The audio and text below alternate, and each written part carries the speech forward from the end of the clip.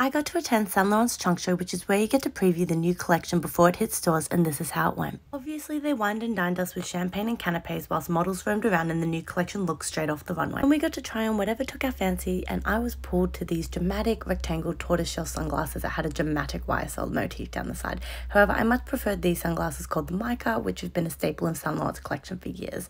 These were another pair of sunglasses similar to the Mica that had the YSL motif down the side, but in a much more wearable everyday pattern. Being known for structural suiting, obviously I had to try on a classic Saint Laurent blazer. I was then absolutely wowed by these oxblood and gold heels, which would be perfect for fall winter, before finishing up in my favorite department, handbags, and obviously you know I took something home, so let me know if you want to see what I got.